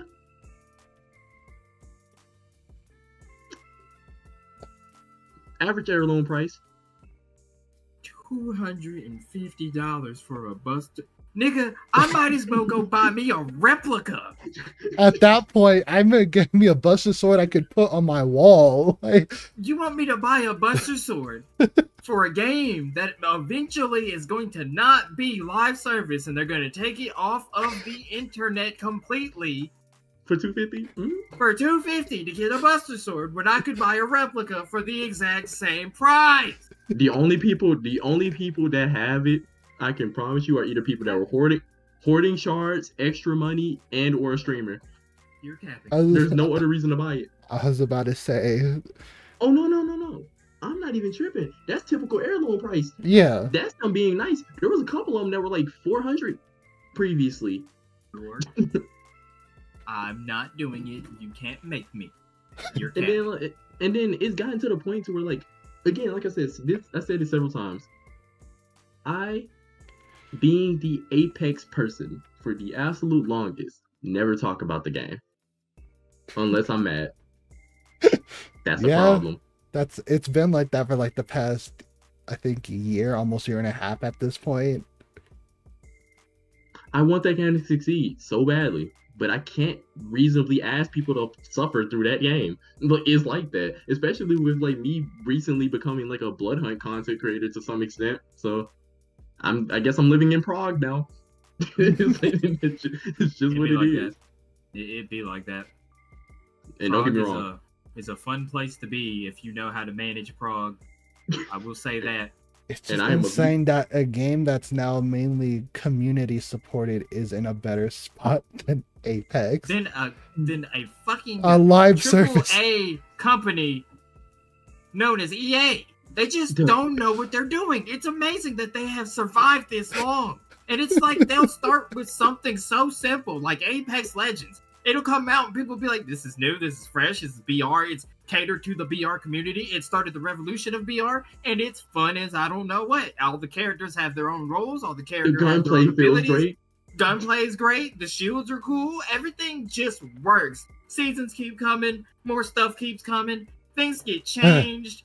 I understand nerfing wraith. She was the streamer character. Everybody was using her. She was everywhere. You did not see her in- for competitive. No matter what rank you're in there's probably a number one wraith. Spraying your team down and get the fuck out of there. I get it. She needed to be tuned. Fine. It got to the point. It got to the legitimate point the where guns they be adding the maps they be changing it got to the point to where Bangalore, nerfs they be making eh, Bangalore got nerfed. Who the fuck nerfs Bangalore? All she does is throw smoke. What do you want from her? Her passive got nerfed. It was her passive because of the me- because of a meta change. Her sprinting passive. passive? Mm-hmm. So me getting shot at and me being like, fuck this, that got nerfed. When you can hit me but Wraith still exists. Where she could be like, "Oh, I'm getting shot at. Yep, fuck that." Okay, and then the um thing about it too is that it came down to like it was it was what the final blow of it because I actually did recently uninstall Apex. Ooh, Oh, Ooh. the, final, the final blow of it was me going through an event where, and I might re- install it again. I have Stockholm syndrome. It is what it is. But um, You poor it was it was one of the things where like they brought the classic maps back with classic loot rotation for a bit, and me and the homies played uh, played it. And not only that, they brought the classic maps and they rotated from day to night. So we got night OG Kings Canyon and night OG World's Edge. It was beautiful. We got it And- at night without it being Fuck Halloween. Night maps. Yep. And then we played it and it was like, this is great. I'm talking about, I have never seen me and the homies be so consistent on that game. And then it left and we were like, oh, the game's dead again. Let's play let's play my hero. And by the way, my hero stole their gacha rate straight from Apex, in my personal opinion. But that's the, Oh Let's not- my let's not- god! let's not Please don't. Let's don't not, bro. the soul of Fuska. Let's not do that. so with that being said, it was like one of those things where like that was like with a situation going to where I'm even uninstalling Apex, and don't get me wrong, I'm a Bloodhunt Vampire the Masquerade shill. I actually love the Masquerade. I'm think I was even thinking about starting a series about it several times over. But with that being said, it's like that was the push that made me go to the technically dead game. And the fact that a AAA game is pushing me to go to the technically dead game is crazy because Bloodhunt I'm gonna present this for the podcast. It's gonna be like one of my last major points when it comes to the gaming stuff because like it's kind of like weird, but I'm I'm optimistic, but I'm also depressed. Um, Bloodhunt had a thing. Sharkmob was like, we can't support the game no more. It didn't go where we wanted to. We knew the game was gonna be niche. We knew not that many people were gonna be into it in the beginning anyway. But at the same time, it's hit a threshold to where we're like, we we gotta focus on other things. And I was like, okay, I'm thinking the game's gonna die. They were like, no, we're keeping the servers up. We're keeping the last patch up, but we're gonna have this community updates tab. And what we're gonna do is that the community updates tab, you pick what comes in the rotation, you pick what's the gold guns, you pick these these little balance tweaks and stuff like that around Prague. Have fun. Do what you need to. By the way, the entirety of the battle pass is free, and it's going to be a rotating battle pass at that with rotating items that are seasonal that you can just pick up from playing the game. Have That's fun. how you do it. And I was like, You, it was that I- easy. That's I the got- thing that makes me my mind explode. It was that easy.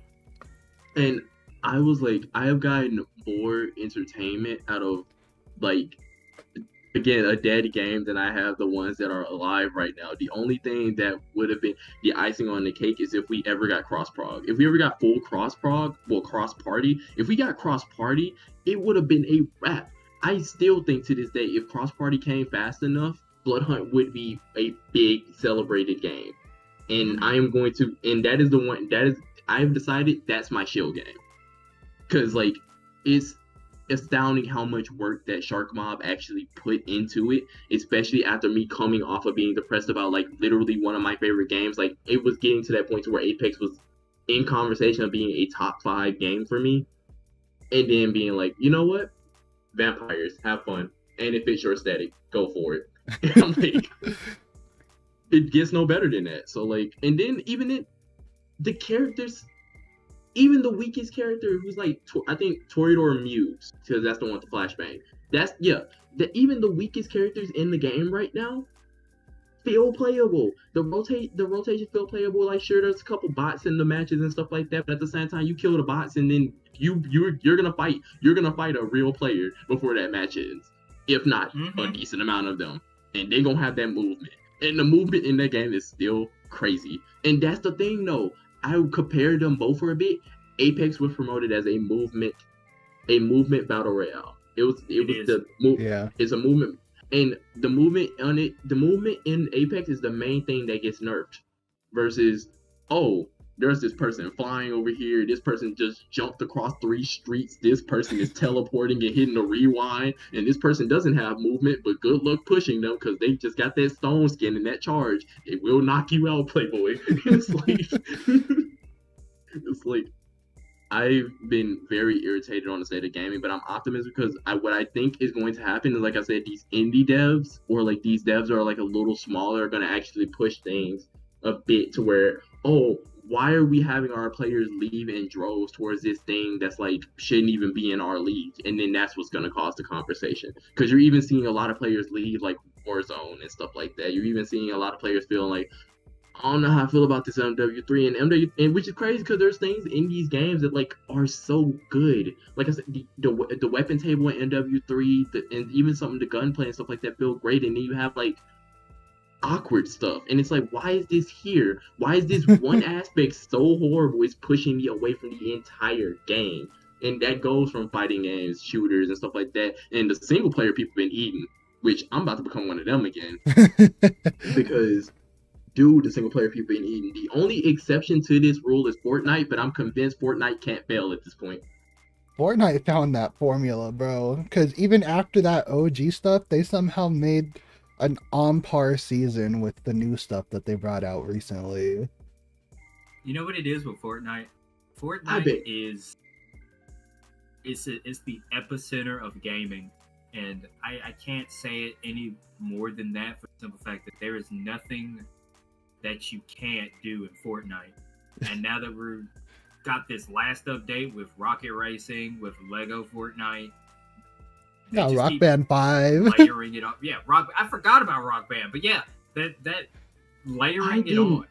I didn't realize how even with stuff like Fortnite Legos, because I've been mostly racing and stuff like that too, but even stuff like Lego Fortnite, Lego Fortnite has such deep systems.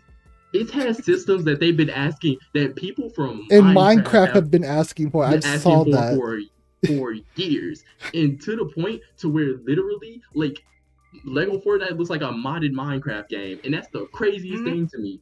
Or like the racing, like the racing feeling, like the gravity, the gravity and the weight of cars can feel Yeah. a little weird sometimes. But the racing being so clean and stuff like it's just, and then progression across the board. Like sure, there's current, there's microtransactions everywhere in Fortnite, but you know what you're getting into. And even then, you gonna get what you want. Oh, you see Yeah, that, um, like, random, I guarantee random- you, if, if if Final Fantasy came in Fortnite, I wouldn't be spending no 250. I'm gonna be like, oh, I'm gonna spend an easy 15 and call it a day. You spend 15 to 35. 35 for like a full pack of all the Yeah. characters. 15 for maybe like one actual bundle with one character, a pickaxe, a player card, or a backpack. And That's then, another thing. They've got That's- the money situation down. Yeah, and that's if and that's if you don't do something like the crew pass because i have never seen something be so worth it because like you have the crew pass which has it's like it has it it has a straight up pack of stuff like that gives you the pa- gives you the battle pass off top gives you skins and those skins change because the longer you stay in the crew pass you get The legacy more crew pass which yeah. which changes the skin itself and that goes across the board like you get different colors and different shaders and all this stuff for your skins and a thousand V bucks like- per month on top of that. On top And of they're- that, yeah, and they're the talking about and they're talking about adding more to it Yeah, it's insane. Nah, yeah, they they You their have- marketing team.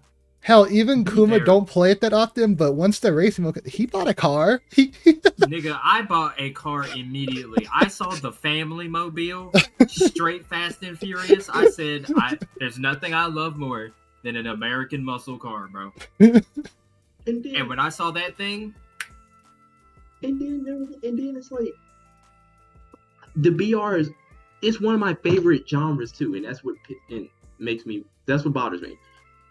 The BR genre is a genre that I know can't stay around forever because of the fact that most BRs are live service. Oh yeah, for sure. It's like that. But at the same time, it's like as someone who's that's one of their like high tier genres and stuff like that, it's like it sucks because y'all been stealing each other y'all been stealing from each other since the beginning. Like the pinks we all know the ping system is The ping Apex, system, man. the reboot system, that was all Apex. That that was nowhere And- near Fortnite. And then it's when these other devs give you the blueprint for something and then you proceed to not do it and then slowly kill the game because of it like fortnite got to a point where i even got mad that they did kill paragon and even then they did stuff with paragon and made it like they made it okay later down the line but that's Uh-huh. a whole other thing and then like now it's like I'm not really have that. I don't really have that many options. It's either like Bloodhunt or Forts, and like that sucks because even every time we try to innovate in this genre because of how the genre is set up and stuff, it's like Spellbreak dies, Bloodhunt technically dies. Hyperscape wasn't particularly my thing. Didn't really like Hyperscape that much. Oh, don't. it- that, I know I'm sorry, Kuma. That I'm my sorry. favorite BR. I didn't get to. I didn't get to. it. To be fair, I only got to play Peak Hyperscape a couple times because when I'm talking about PC Hyperscape, because you know PC Hyperscape was way different than console Hyperscape. Like I only got to play P, uh, like PC Hyperscape a couple times, so like it's one of those things. But like when it got to console, it was like this isn't my thing, but this is dope. The premise is still dope. The guns still feel good and stuff. Um, and I'm still very depressed about Spellbreak. And also- Spellbreak could have been. Oh my god, I love Spellbreak so yeah, much. Spellbreak was Yo. great too. The Rumbleverse people getting their hearts literally broken over how oh what my happened to Rumbleverse. So like it's one of those things it's one of those things where like I hate the one thing I hate about current the current state of gaming is just how You can't get word? comfortable. temporary yeah, how Yeah. temporary everything is. And It's not even. It's not even just that. It's that more than ever, especially now, the competition is as high as it's ever been in gaming. So If when you, haven't think about it been in the like game for a minute, getting your foot in the goddamn door is a task in its own. you are treading on fire because like especially for the br genre if you don't have something that is as accessible as fun and as just i could Good just looking. do it whenever as something like fortnite and apex even though apex is kind of going through a gray area right now but it's not pick up and play, Still- still has a lot of people there who are committed to the cause. But if you don't have something that can compete with those two games alone, then you got to have something that can definitely compete with Warzone. That is the hardest thing to do in this modern day like of gaming. It's because there's so much competition everywhere you look. And then it's just like how am I going to top what they've been building on for a decade? For five plus only- years. For and it seven only- years. and it only takes and it only takes one particular thing to be lacking for you to technically kill your game. And that's Yeah. the thing. And that's the thing though, because everyone who played Bloodhunt said that it felt amazing. And then you get to like, it oh, it doesn't have cro- it doesn't have cross party. Well, well, your And game's that was done. like- yep, like yeah. We're out. And then it's just it's just raps. and it, and And I was I just think- like, oh because I think the two thing, the two main complaints that I seen from outsiders when it came to the when it came to it, which I was like I said, I was still shill. They're just wrong.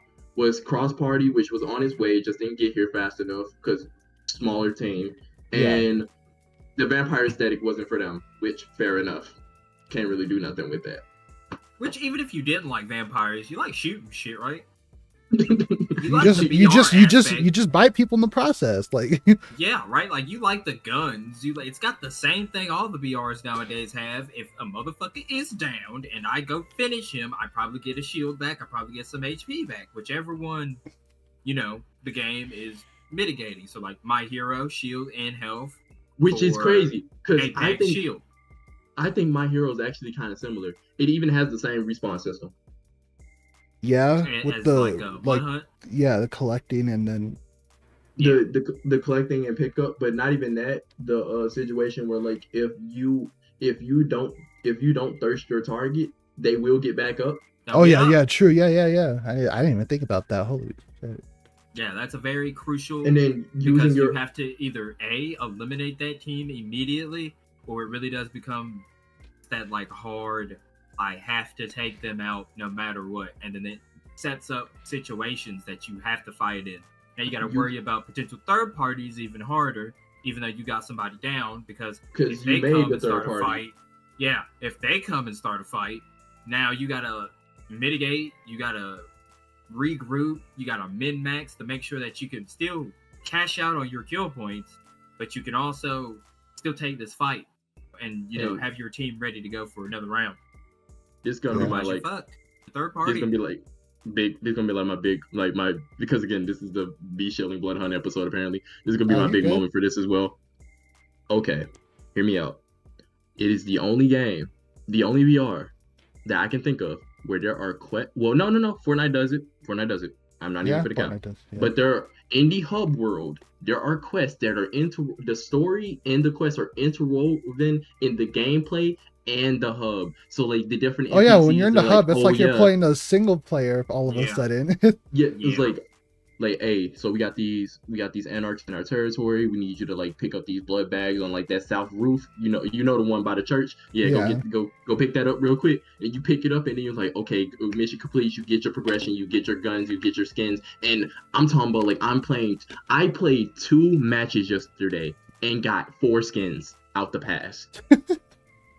I was like, and that wasn't even counting the credits I got to buy more skins because the drip in Bloodhunt was insane. Play Bloodhunt. it still is. It's it like still the is. the customization is immaculate in and Bloodhunt. if you don't if you don't want to do any of that, again, community balance and TDM um, T- community balance and TDM maps because you can even choose the TDM maps that are about to happen in the next rotation. yeah. Go play T- play TDM because it's fun. You back in it. You just going crazy with the gun. love Like TDM. Yeah, me and Kuma It's like- went crazy in TDO. We were carrying. it's like it's literally one of those things where it's like it has a little bit for everybody. It's like it just got a little dark aesthetic to it, and you know people like being edgy. I like being edgy. Come on, you Everyone has a little Blood edgy side. it's like play and like my personal my personal thing is like if BR is your thing, if you want something happy and just vibey, play Fortnite. If you want something a little darker because you were edgy, you never really grew out of being a teenager, you play you a little blood and you play you a little blood hunt, do what you need to do. It's, it's great. So like that's one of those things where like that's my big take on gaming. I think that we are getting a lot of strides in terms of these smaller development teams and these indie teams, but like AAA means nothing. And At in this all point, honesty, nah. if I had a choice, if I Yeah, had a choice, Just a, it's just a slap. It's just like a sticker to be a AAA like company nowadays, which is really fucking. At the- yeah. At this point, it's literally like the like a title It's like card a saying in, in front of them. to make sure that people. Yeah, it's like it. you know how some movie trailers saying like written by award uh, Emmy award winning uh, blah blah blah. exactly. And it's like okay, eh, and Exactly. And it's just like, oh, well, this person also seems to be the person who wrote this, and that is one of my favorite movies of all time. Well, this studio also happens to be a studio that worked on this, and that happens to be one of the biggest JRPGs or freaking action adventure games of all time. But I mean, when you have these AAA companies making BRs,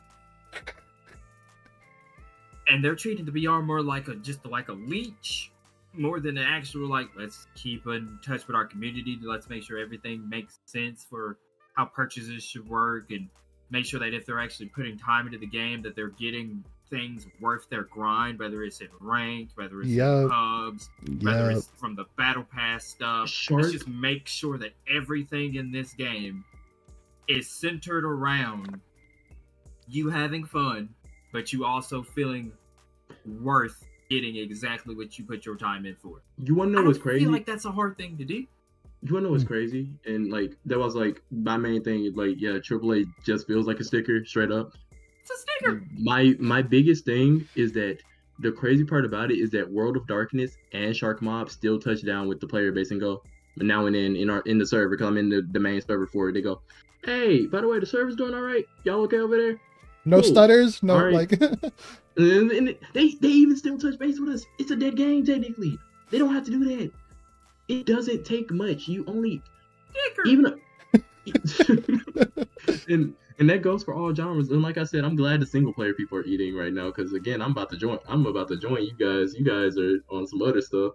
So now I and was so- complaining about Granblue earlier, and about how they were doing the RPG mode. I'll give this a pass for the simple fact that Relink is literally right around the corner. oh my like the god, second of February.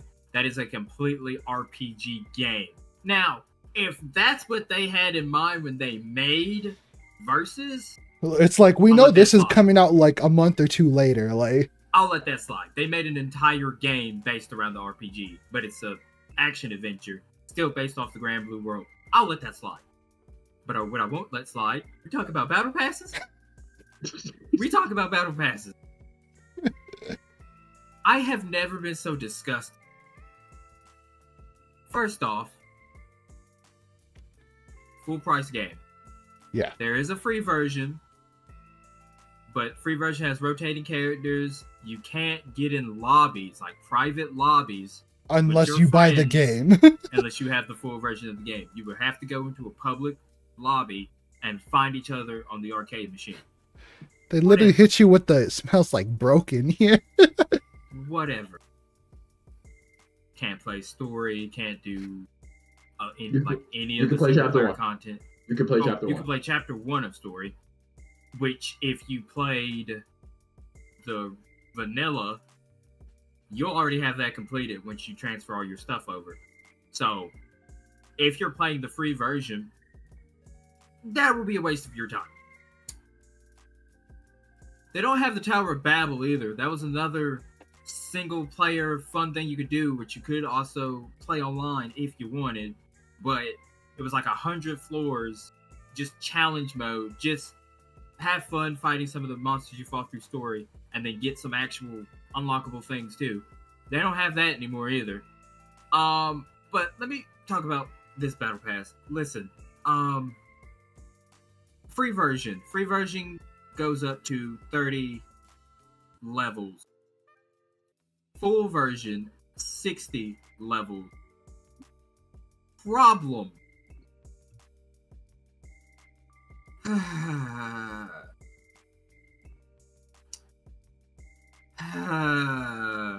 Full price game. Battle Pass would be about 10 bucks. You can't level up the Battle Pass by playing the game. Makes you think, right?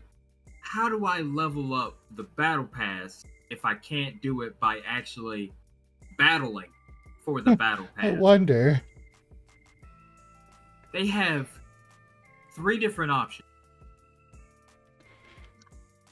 dailies, weeklies, and what they called a standard. Is you don't need the battle pass to do any of this, but you can't upgrade, level up, get to the end of the battle pass unless you are doing battle pass oriented challenges. You could play the game for 100 hours when this yesterday because they dropped the patch, Lucius dropped, when he dropped the battle pass dropped. Cool. But you can't level your battle pass by just going online playing rank, going online playing player matches, going online in lobbies. You can only do it on your dailies, your weeklies, and your standard. Here's the worst part. There are 60 levels and you have 40 days to complete it. That sounds like another Do you get do you at least not- get a level per when you complete all of that? Like like the Because if it's For still eight, yes. Oh, okay. it's For like- dailies, still- no. oh, did Dailies that only cover Oh. about 200 XP. They only give you three dailies. They cover about 200 XP apiece. It is 800 XP to complete one level. So basically, you're not. So basically, you're not completing the battle pass unless you not- buy you it, fo- like buy levels. Unless you want on uh, one. You can't buy no, levels. you can't complete the battle pass unless you particularly focus on. Cha- you you can't play what you want to play. Nope. You just okay. You Nope. have to grind the tedious you shit. have to you have to focus on it and then you have to grind a particular thing okay i can see yeah i totally can see why that's a problem because i That didn't even the worst look battle into that pass aspect. practice I have ever seen in my life, and I've That- played everything, bro. At some point, there's been something I've touched, and I've never seen a battle pass tell you you cannot rank up a battle pass by just playing the You game. You can't play the game. Do do this shit though. You- You have to do exactly what's in the battle pass that it says you have to do. So the reason I even played the Fall Guys mode was to try to rank up the battle pass. It was a weekly. I got to play 10 rounds or 10 what they call it is stages. I got to play 10 stages of that game mode to get 2000 XP. 2000 XP will give me about two, two and a half levels. You said 800 each one's 800. Yeah, that's like two and a half levels.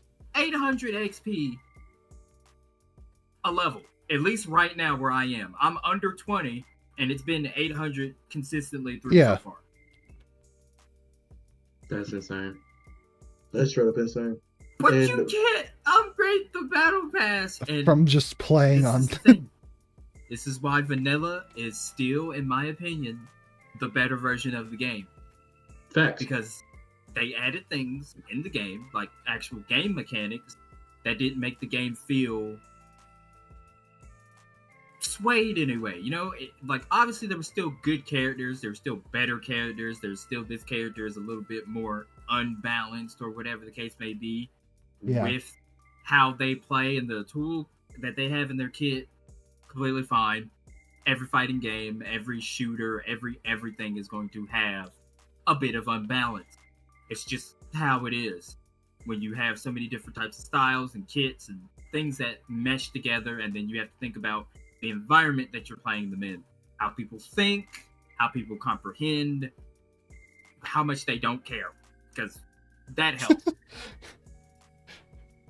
And they added a being- lot of mechanics in this game, and a lot of it is oriented to modern gamers, which is mashing and being able to beat players that are higher than their caliber, because that is what the modern motto has been. Street Fighter 6 brought in modern controls, which is not, you know. I think it's I think it's actually good. I think no, it's actually no, good I think modern controls is a good thing to have because Street Fighter 6 did it correctly. You have access to move, your good moves. It's easier to DP. It's easier to throw fireballs. It's more accessible for newer players to, you know, get a feel for the game. But overall, you're probably still going to lose to somebody on Classic because they're going to have more execution, All those. damage. more patience and more just you know raw time with the understanding of the complete package of the game Also, you lose Grand out on a lot of just- damage. you just mash you just mash you just mash your grim oh yeah that too i forgot they also do a damage reduction on modern controls so that you're not doing as much damage as you would on classic which in a way that'll make you seem like oh well i'm nerfed but like at the same time nobody can jump at you you just press like forward and your special button and you insta dp every single time every single time it's it's it's never a problem you can't get jumped in on ever There are, but you there are a modern. flawless execution of walking forward back and then never missing Yeah, because you like, can still do it. There are modern players. Hadouken or anything. It- There are modern players in Masters. There, you can yeah, still yeah, do yeah, it. yeah, Yeah. yeah, yeah, yeah. And There's that's the yeah, yeah, and that's the thing too because like like i said it's it, it and i guess that's like the main focus of like what we've been talking about besides like the earlier music stuff is that modern gaming is in a weird state. And with that being said and with everything being said like i said i'm optimistic about the future especially because i'm to be looking even harder at indie stuff or like blood hunt as much as much as i can and stuff like that moving forward but in the same sense of like I kind of want these AAA acts to get together, with the exception of FromSoft, because FromSoft's doing all right. But um, I would like to see where things go from here, especially since this is supposed to be a very big year for gaming, and we're going to be covering a lot of it as we progress through. And with that being said, I would like for these socials to be plugged if possible. I will probably have a lot of the, we'll probably have everyone's stuff down below in description. Oh, yeah. And I've been living, like I said, I've been lo- mostly living in terms of this podcast, and I've been actually focused on my Cosma channel while I'm working on getting Melody and Ghost together to actually do something. You want me to link that too? I On, can uh, actual link that channel. with your socials. I would appreciate it. And with that being said, I think that concludes episode two of GXP. Thank you, Kuma, for joining in with us on this topic. And also, as far as everything goes, we're gonna like be testing out different testing out different aspects, formats, and things that like you know make the podcast. You might So even get just does, dual let us know. episodes with me and Ghost. Like, I'll be back. So- Don't worry. anything that anything that happens with um GXP, we'll try to keep everything updated, whether it's with me or with Chris.